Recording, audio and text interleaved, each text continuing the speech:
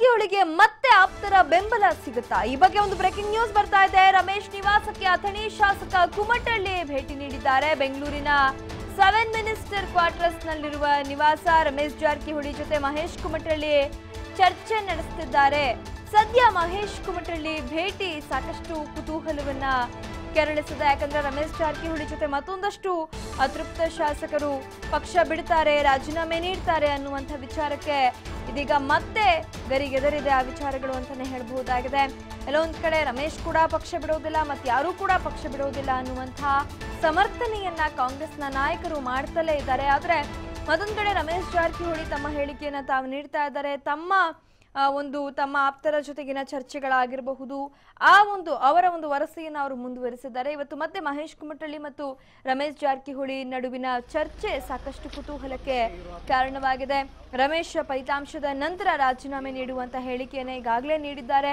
So Ramesh ಒಬ್ಬರೇ ನೀಡ್ತಾರಾ? ಅವರ ಜೊತೆಗೆ ಮತ್ತೊಂದಷ್ಟು ಜನ ನೀಡ್ತಾರಾ ಅನ್ನುವಂಥ ವಿಚಾರ ಇನ್ನೂ ಕೂಡ ಪ್ರಶ್ನೆಯಾಗಿ ಉಳಿದಿರುವಂಥದ್ದು ಹಾಗಾಗಿ ಈಗ ರಮೇಶ್ ಕುಮಟಳ್ಳಿ ಭೇಟಿ ಮಾಡಿ ಮಾತುಕತೆ ನಡೆಸಿರುವಂಥದ್ದು ಸಾಕಷ್ಟು ಚರ್ಚೆಗೆ ಮತ್ತು ಕುತೂಹಲಕ್ಕೆ ಕಾರಣವಾಗಿದೆ.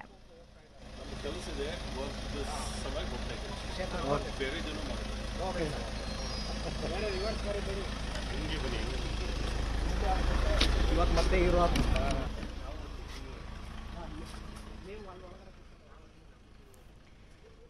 ಎಸ್ ರಮೇಶ್ ಜಾರಕಿಹೊಳಿ ಮತ್ತು ಮಹೇಶ್ ಕುಮಟಳ್ಳಿ ಭೇಟಿಯಾಗಿ ಮಾತುಕತೆಯನ್ನ ನಡೆಸುತ್ತಿದ್ದಾರೆ ನೀವು ದೃಶ್ಯದಲ್ಲಿ ನೋಡ್ತಾ ಇರಬಹುದು.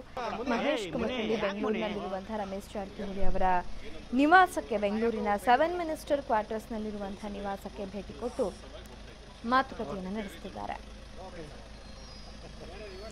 ಈ ಬಗ್ಗೆ ಮತ್ತಷ್ಟು ಮಾಹಿತಿಯನ್ನ ನೀಡ್ತಾರೆ ನಮ್ಮ ಪ್ರತಿನಿಧಿ ಶಿವಕುಮಾರ್ ಜೋಹಳ್ಳಿ. ಶಿವಕುಮಾರ್ ರಮೇಶ್ ಜಾರಕಿಹೊಳಿ ಪಕ್ಷ ಬಿಡ್ತಾರಾ ಅಥವಾ ಅವರ ಜೊತೆಗೆ ಮತ್ತೊಂದಷ್ಟು ಜನ ಪಕ್ಷ ಬಿಡ್ತಾರಾ ಅನ್ನುವಂಥ ಪ್ರಶ್ನೆ ಸದ್ಯಕ್ಕೆ ಪ್ರಶ್ನೆಯಾಗಿ ಉಳಿದಿದೆ. ಸೊ ಈಗ ಇವರಿಬ್ಬರ ಭೇಟಿ ಮತ್ತು ಚರ್ಚೆ ಸಾಕಷ್ಟು ಕುತೂಹಲಕ್ಕೆ ಕಾರಣವಾಗಿರುವಂಥದ್ದು. ಭೇಟಿಯ ಉದ್ದೇಶ ಏನಾಗಿರಬಹುದು, ಏನು ಮಾತುಕತೆ ನಡೀತಿರಬಹುದು ಶಿವಕುಮಾರ್?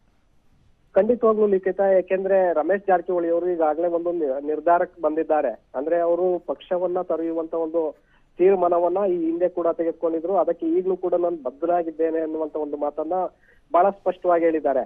ಆದ್ರೆ ಒಂದು ತಿಂಗಳಿಂದಲೂ ಕೂಡ ಅವರ ಆಪ್ತರು ಏನಿದ್ರು, ಅವರು ರಮೇಶ್ ಜಾರಕಿಹೊಳಿ ಅವರನ್ನ ಬೆಳಗಾವಿಯಲ್ಲಾಗ್ಲಿ, ಬೆಂಗಳೂರಿನಲ್ಲಾಗ್ಲಿ ಅವರ ರಮೇಶ್ ಜಾರಕಿಹೊಳಿ ಅವರನ್ನ ಭೇಟಿ ಮಾಡುವಂತ ಒಂದು ಪ್ರಯತ್ನವನ್ನ ಮಾಡಿರ್ಲಿಲ್ಲ.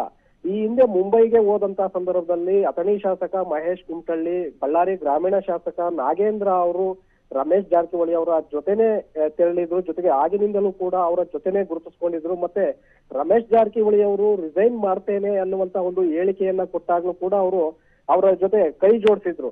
ಆದ್ರೆ ಕಳೆದ ಒಂದು ತಿಂಗಳಿಂದ ಅವರು ಎಲ್ಲರೂ ಕೂಡ ರಮೇಶ್ ಜಾರಕಿಹೊಳಿ ಅವರನ್ನ ಎಲ್ಲೂ ಕೂಡ ಭೇಟಿ ಮಾಡಿರ್ಲಿಲ್ಲ. ರಮೇಶ್ ಜಾರಕಿಹೊಳಿ ಅವರು ಪ್ರಯತ್ನವನ್ನ ನಡೆಸಿದ್ರು ಕೂಡ ಅವರು ತಟಸ್ಥವಾಗಿದ್ರು.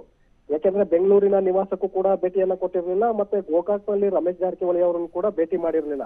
ಆದ್ರೆ ಇವತ್ತು ದಿಢೀರನೆ ಅಥಣಿ ಶಾಸಕರಾಗಿರುವಂತ ಮಹೇಶ್ ಕುಮಟಳ್ಳಿ ಅವರು ಸೆವೆನ್ ಮಿನಿಸ್ಟರ್ ಕ್ವಾರ್ಟರ್ಸ್ ನಿವಾಸದಲ್ಲಿರುವಂತ ರಮೇಶ್ ಜಾರಕಿಹೊಳಿ ಅವರನ್ನ ಭೇಟಿ ಮಾಡುವ ಮೂಲಕ ಸಾಕಷ್ಟು ಅಚ್ಚರಿಗೆ ಕಾರಣರಾಗಿದ್ದಾರೆ ಲಿಖಿತ ಯಾಕೆಂದ್ರೆ ಒಂದು ತಿಂಗಳಿಂದ ಬರೆದಂತ ಅಥಣಿ ಶಾಸಕರು ಕುಂದಗೋಳ ಬೈ ಎಲೆಕ್ಷನ್ನಲ್ಲಿ ಕಾಂಗ್ರೆಸ್ ಅಭ್ಯರ್ಥಿಯ ಪರವಾಗಿ ಅವರು ಪ್ರಚಾರದಲ್ಲಿ ಬ್ಯುಸಿ ಆಗಿದ್ರು ಇಲ್ಲಿಯವರೆಗೂ ಕೂಡ.